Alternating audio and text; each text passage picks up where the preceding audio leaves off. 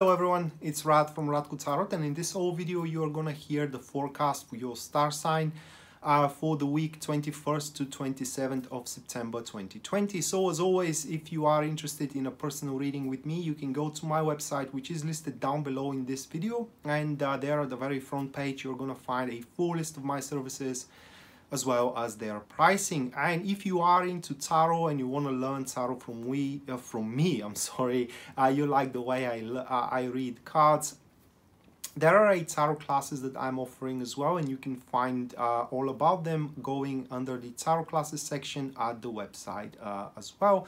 My recommendation is to take the major arcana first and when you become comfortable with it then go for the minors. So that being said lay back and uh, enjoy the show Right, so this is going to be a uh, Virgo Sun, Virgo Moon, and as well a Virgo Rising weekly general tarot reading uh, for the upcoming week.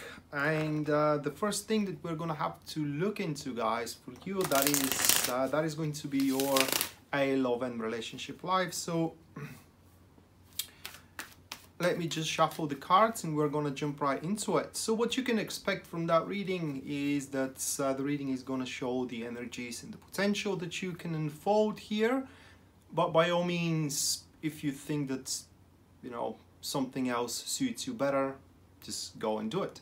So the first one that we do have, that is going to be uh, the World, followed by the Emperor. Uh, moving next, we do have the Two of Swords, and the last one, uh, that we do have that will be the knights of a cup. So great. I mean the message is pretty clear here and that will be that uh, things um, the way that they are supposed to develop. They are going to develop themselves on their own accord. Now what is important here uh, to be acknowledged in regards to that reading is not to take the initiative. Now this is how the Emperor stands in generally in this particular reading as it stands into the second position.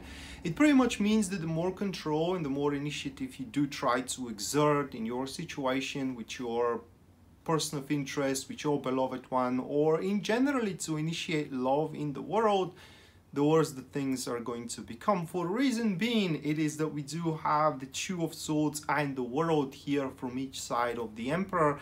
That pretty much points that you have already signed up for something and it's coming for you, alright? For better or worse. And for what it seems with reading is rather for the better. But the bottom line is that the more you try to enforce your will, if I may say it that way, um, in generally the worse the circumstances around whatever you have signed for are going to be. So for that reason you Virgo should just patiently wait uh, for the thing to come. Now a few examples in order to uh, give you a better idea of uh, what I'm talking about here. Uh, one good example it would be for those who are uh, pretty much single and that reading pretty much speaks that you have already caught the eye of somebody, alright, and you don't have to do anything more. In fact, the more you do, the more you try to catch even more their eye, the more you are discouraging them to make a move, okay? So it's just, you know, I usually do not advise people to do that but in your case it will be better to sit at your couch. Just saying. Another thing about uh, especially those that are in already established relationship and marriages it is that you have to pass the initiative to to your beloved one say that way. And whatever decisions you have to make or, or you are contemplating on making because for what it seems with reading here you don't have to make any decision whatsoever. You may contemplate of making it. You may feel like with your back against the wall to do it so but that is just an imaginary feeling uh, according to the reading itself. So it will be best to sit around and just wait for right now any decision is kind of like anybody's guess or the right decision is any anybody's guess. And as you do wait the obvious right choice or rather like the right choice the right decision for you is going to become pretty obvious. And um, the last card that we do have in this reading which is the knights of eight cups um, that pretty much describes the end of the cycle or the end of the week for you. Uh, and it has a different interpretation depending on are you in a relationship or are you not in a relationship. Or for those who are in a relationship uh, the card pretty much signifies that regardless how things unfold for whatever you have signed for here uh, you are gonna like it. I mean it will it will seem like things are developing the way you you would love them to develop. That's the bottom line of the uh, of the Knights of Cups, in a sense of that uh, it's pretty much that thing is gonna get you one step closer to what you want. And those who are not in a relationship, uh, Knights of uh, Knights of uh, Cups, excuse me. So Knights of Cups, obviously, it's an, an approach here for Knights of Cups, especially for those that are single or they do have the question of you, you know, for example, what does he or she feels for me? Uh, Knights of Cups stands for the feeling of the dream of one's heart, meaning that you know you caught the eye of somebody or that's pretty much sees sees only you as a potential partner for now okay? Because next week things can change. So while you don't have to do anything throughout the week while you don't have to uh, seize the initiative now as this person reveals maybe it will be best to play along with uh, with the game that it will going to develop in between you two. So that was your uh, love uh, potential throughout uh, this upcoming week. Virgo, and uh, let's uh, shuffle the cards and see what kind of things you're going to do in term of a uh, in term of a business, business and career.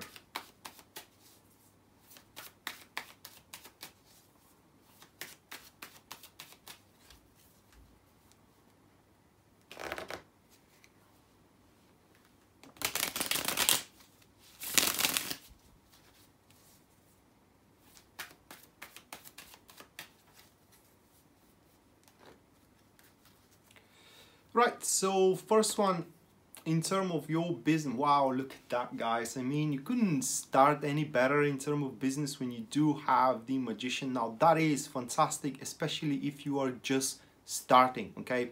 If you are just walking into a new job if you are just establishing a business uh, so we do have the Magician uh, followed by the Emperor once again into the second position here. That's not of a uh, good contribution to the Magician, but the Justice kind of like a balance things out. And the last one that we do have for you, wow, look at that. I mean, we do have a four major arcana. That will be definitely a, a big week. And unfortunately, um, looking at those cards, you pretty much have to play a fool and that will serve you for to a great extent. Um, i could almost i i always almost have to say that you have to do what you have been told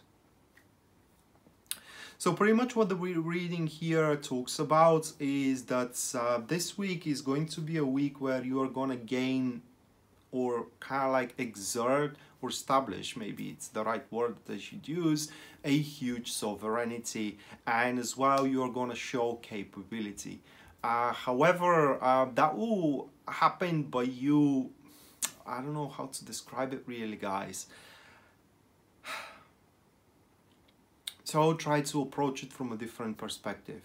Um, it's about overpowering somebody or in an organization or a company or a firm. It's about you overpowering that structure, but you're not gonna overpower it with a brute force. You're just gonna overpowering it by um, showing your um, overqualification, so to speak. So uh, it, happens like that. Instead of taking the initiative and uh, instead of taking the initiative and taking the responsibilities on your shoulders, it will be best if you allow somebody else to make the tough calls, okay? And then when the crisis emerges, then you do fix whatever they have broken, and that way you do shine as better as they are something like placing a, a person that you do want to subjugate in terms of business in a in a state where you are saying I told you so that my way was a better way.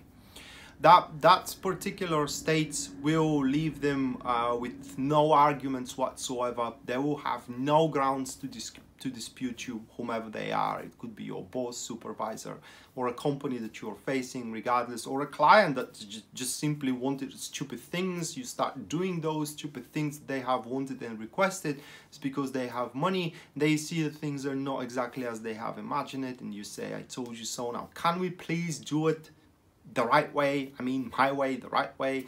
And that way you are not just only going to overpower that institution for a short period of time but you are also going to earn a great amount of respect. So, and instead of being a, a follower you are going to be followed by them okay? So uh, it's kind of like a raising tremendously throughout this week in the uh, in the ladder of the hierarchy if you will but a lot has to be done. Uh, we do have the Justice here that stands into the third position and this card is marvelous having it in terms of a career. First thing that it speaks is that you're to have a lot of a work, a lot of responsibilities that you need to undertake on its own accord, let alone that if you do take uh, as well the initiative to overwhelm yourself with another with even more responsibilities. That's why you gotta leave people to do whatever they they are supposed to do even if that thing kind of like reeks of making errors and making mistakes. And with the justice as well um, obviously people are going to pretty much get whatever they deserve. That's in, that includes you. So if you do not involve yourself into shady schemes if you do not kind of like mess around with someone else's job your job is not going to be messed around. But uh, the positive trait of justice, as it stands in the third position, it pretty much speaks that um, you will have the astute discernment of what is important and how to do it. Not just only that, but uh, also you will have a keen eye of making snap decisions here and there uh, in the right moment at the right um, at the right time and uh, that will bring even more opportunities as we can see at the end of the week. That is the wheel of fortune. And uh, wheel of fortune pretty much stands for uh, in either case either career or either relationship. It bigger it's it's bigger interpretation or manifestation. It is a uh, a circumstance something that happens out of luck. That's it's a a prerequisite for once in a lifetime change and usually in career it stands as a uh, either an offering you know or a breakthrough or a position that was not meant for you originally. I mean not by the universe but by the institution. Say your boss meant that position for a colleague of yours. That colleague messed up really bad and you have to clean up that mess. So you show yourself much more capable and the position swapped from that colleague to you.